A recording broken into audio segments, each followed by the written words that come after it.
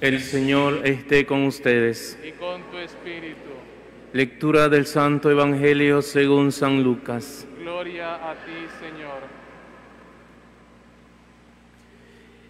En aquel tiempo, la gente se pregun- le preguntaba a Juan el Bautista, ¿qué debemos hacer? Él contestó, quien tenga dos túnicas, que dé una al que no tiene ninguna, y quien tenga comida, que haga lo mismo. También acudían a él los publicanos para que los bautizara, y le preguntaban, Maestro, ¿qué tenemos que hacer nosotros? Él les decía, no cobren más de lo establecido. Unos soldados le preguntaron, ¿y nosotros qué tenemos que hacer? Él les dijo, no extorsionen a nadie, ni denuncien a nadie falsamente, sino conténtense con su salario.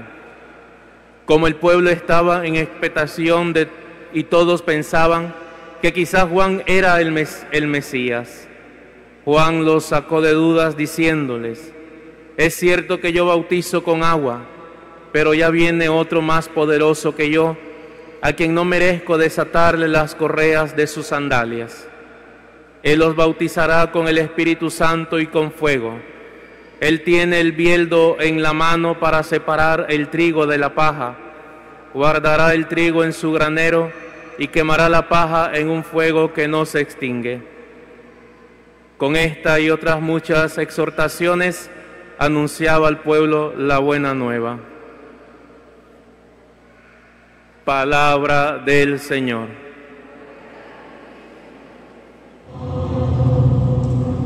Pueden sentarse. Hoy es una- un domingo especial, el domingo gaudete o domingo de la alegría. Felicito a la niña que va a dar su primera comunión, Karina Sofía, y a toda su familia. También felicito al final de la Eucaristía vamos a instituir ministros extraordinarios de la comunión, algunos hermanos y hermanas de la parroquia de Nuestra Señora de Fátima, que ha venido con el señor cura párroco, Padre Berto, y los hermanos que van a ser instituidos, unos que renuevan y otros nuevos. Pues la liturgia de este domingo transmite un vibrante mensaje de alegría. Es el domingo de la alegría o gaudete. Cada uno de los textos que hemos proclamado desarrolla una motivación particular para este llamado de estar alegres. Empecemos por la primera lectura del libro de Sofonías. Sofonías fue un profeta que predicó en Israel hacia la mitad del siglo VII antes de Cristo. El profeta exhorta a la comunidad, canta hija de Sión, da gritos de júbilo Israel, gózate y regocíjate de todo corazón Jerusalén. ¿En qué fundamenta el profeta para hacer este llamado a la alegría? El motivo teológico es profundo. Teológico porque es de Dios. Dice el profeta, el Señor tu Dios, tu poderoso Salvador, está en medio de ti. Él se goza y se complace en ti. Él te ama y se llenará de júbilo por tu causa, como en los días de fiesta.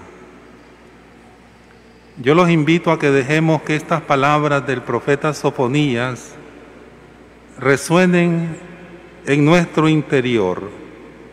También a nosotros nos dice este domingo, este profeta, el Señor tu Dios, tu poderoso Salvador, está en medio de ti. En la Navidad celebramos que el Hijo eterno del Padre se ha hecho como uno de nosotros, está en medio de nosotros, nos sigue acompañando con sus parábolas, nos comunica la vida a través de los sacramentos de la iglesia. ¿Acaso no nos parece suficientemente fuerte este motivo para estar alegres y vivir en paz? El Salmo responsorial se refuerza este mensaje. Ha dicho, hemos dicho en el Salmo, el Señor es mi Dios y Salvador, y con Él estoy seguro y nada temo. El Señor es mi protección y mi fuerza, y ha sido mi salvación. Ciertamente, no somos ingenuos Múltiples incertidumbres nos acompañan a lo largo de la vida. Son motivo de preocupación la salud, la familia, el desempleo, el trabajo, la estabilidad económica, etc. La lista sería de nunca acabar. Ahora bien, una cosa es afrontar estas incertidumbres que vivimos hoy con la certeza de que el Señor camina junto a nosotros.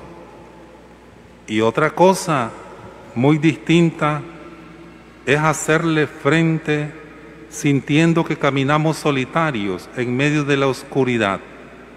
Por eso la fe nos ilumina el sendero y sabemos que estamos protegidos por el amor providente de Dios. En su carta a los filipenses, segunda lectura, San Pablo invita a los miembros de esta comunidad de los filipenses a vivir con alegría y les dice, hermanos míos, alégrense siempre en el Señor, se lo repito, alégrense ¿Cómo justifica Pablo su exhortación a la alegría? El motivo central es la cercanía del Señor. Meditemos sus palabras. El Señor está cerca. No se inquieten por nada. Más bien presenten en toda ocasión sus peticiones a Dios en la oración y la súplica, llenos de gratitud. ¿Qué nos dice esta afirmación que hace Pablo? Es una afirmación sobre Dios, teológica, sobre la cercanía de Dios. Nos dice que Dios no es un ser que vive en un planeta lejano. Nos dice que a Dios lo encontramos en lo más profundo de nuestro ser. Lo encontramos en nuestros hermanos, lo encontramos en la naturaleza, en las sagradas escrituras, en la oración y de una forma particular en la participación de la misa. Con alguna frecuencia nos sentimos solos y nos quejamos porque Dios no nos escucha. El problema no es de Dios, sino de nosotros. No lo descubrimos ni lo escuchamos porque estamos distraídos por muchos asuntos y descuidamos nuestra vida interior. No sacamos tiempo para reflexionar y para revisar el curso de nuestra vida. Recordemos las palabras de San Pablo. Alégrense siempre. El Señor está cerca. No se inquieten por nada en el mensaje del Evangelio de San Lucas nos encontramos con la llamada a la alegría de Juan el Bautista. Es una llamada diferente, extraña, porque, pero no menos verídica. Es el gozo o la alegría del cambio. Cuando se da la conversión, el cambio hay alegría, produce alegría. Y eso es lo que nos dice Juan el Bautista. El mensaje del Bautista, la figura despertadora del Adviento, es bien concreto. El que tiene algo, que lo comparta con el que no tiene. Recordemos los hechos de los apóstoles, que hay más alegría en dar que en recibir. Hay más alegría en dar. El que se dedica a los negocios, que no robe, sino que ofrezca la posibilidad de que todos los que trabajan puedan tener lo necesario para vivir en dignidad. El soldado que no sea violento, dice Juan el Bautista, ni reprima a los demás. Estos ejemplos pueden multiplicarse y actualizarse a cada situación, profesión o modo de vivir en la sociedad. Juan el Bautista pide que se cambie el rumbo de nuestra existencia en cosas bien determinantes. No es solamente un mensaje de moral, moralizante y de honradez, que, que ciertamente lo es, pero es asimismo una posibilidad de contribuir a la verdadera paz que trae la alegría. Si nosotros acogemos este llamado a la justicia y, y, la solidaridad, no solo viviremos en un mundo más amable, sino que también nos sentiremos en paz y viviremos alegres. Escuchemos, pues, con atención este llamado a la alegría que es transversal a la liturgia de este tercer domingo de Adviento. Alegría que tiene una sólida motivación teológica y que se nutre de justicia y solidaridad, es decir, la alegría y la felicidad se encuentran en el servicio a los demás. También hoy celebramos a nuestra Madre, la Virgen de Guadalupe, que la queremos mucho. Hay un canto mexicano que dice, no sé si el coro se lo sabe, yo tampoco soy buen cantor, mejor se les leo la letra, dice, yo quiero decirte lo que tú ya sabes. Yo quiero decirte, como una rancherita mexicana.